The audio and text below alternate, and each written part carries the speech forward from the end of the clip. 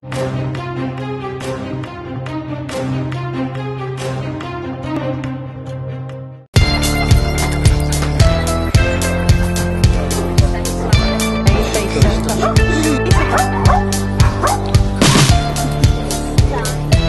dia nyala dosta.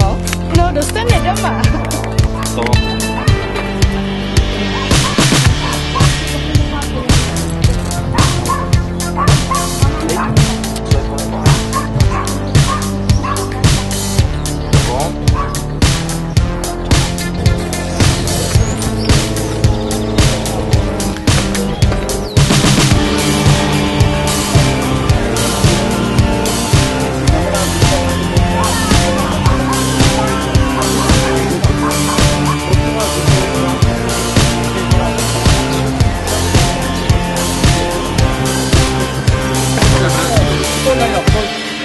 ですか。